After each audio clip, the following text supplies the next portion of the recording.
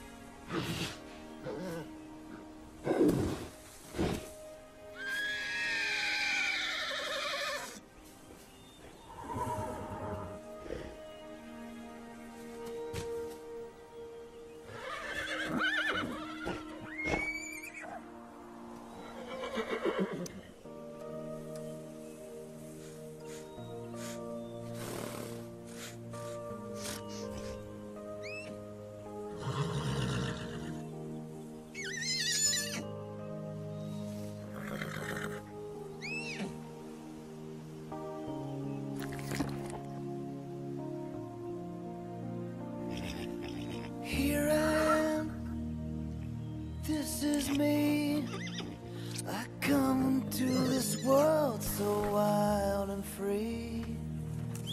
Here I am, so young and strong. Right here in the place where I belong.